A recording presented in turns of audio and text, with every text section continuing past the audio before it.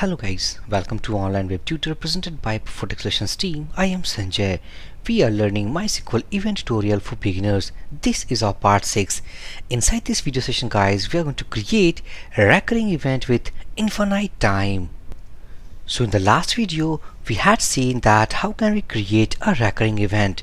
If you go to the next slide, now this is a recurring event within certain time period. This is the syntax. Actually by the help of this syntax we had run and created some recurring event in our previous video. So this is something like that. Create event. If not exist this is our event name on schedule and we are going to run our recurring event after every one minute. It will start while creating means at current timestamp and it will ends with the current timestamp plus interval of one hour now inside this recurring event syntax, as we can see that we have specified about the start and the end timestamp. So within these intervals, basically our recurring event going to repeat itself. Now let's say that inside this video, we are going to create a recurring event with infinite time.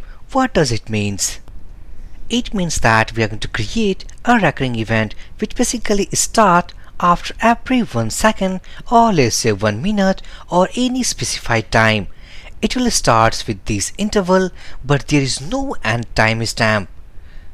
So if I back to our MySQL server to see in action, go to SQL tab and firstly let's check about that is our event scheduler thread is on or not. So it is on. So back here. So let's say that why not actually we are going to open our table because at lastly by the help of our recurring event basically we are going to insert some data inside this table. And also inside this table I'm going to truncate all the data what we have inserted inside the last video. Now this time inside this table right now we have no data. So by the help of our recurring event with infinite time we are going to insert about infinite data. So back to SQL tab and let's say that create event.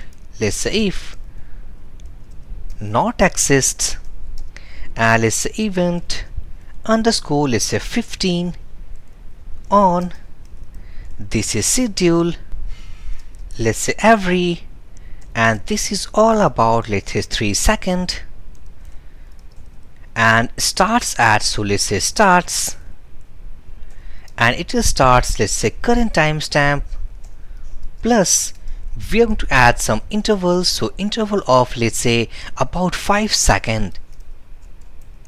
And now this time we are not going to specify about the end timestamp let's say do this is for the body so let's say insert into table name something TBL books. Column names we have called book underscore name book underscore author publication and finally we have called description. And here we have to specify call the values. And inside this let's say that book 1 it is something let's say author 1 let's say publication 1 and finally let's say description 1 all we have done now. So if I copy this syntax back to the slide open a new tab and pasting it here. Let's make some formatting. All we have done now so basically by the help of this recurring event actually we are going to run a recurring event after every 3 seconds which basically start after creating this event with 5 seconds. And this event will run until and unless if we make our scheduler thread off or we have we are going to disable this recurring event. So back to our browser. Now if I press go button successfully we have created our scheduler. Event scheduler. Now go to our more section. So here it is. Reload this page. Now this time as we can see that event 15 and this is recurring event and we have successfully enabled that. It will automatically start after creating with adding of 5 seconds. Back to table. Browse here. Now as we can see that it is inserting now data inside the table. Let me check about the created at.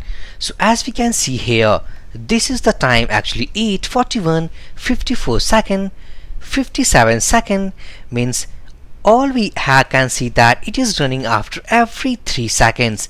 And this is the time actually it has started and endless it will run until unless actually we are going to do disable our scheduler thread so right now we have 11 records. Again I am reloading this page. Now ignore all.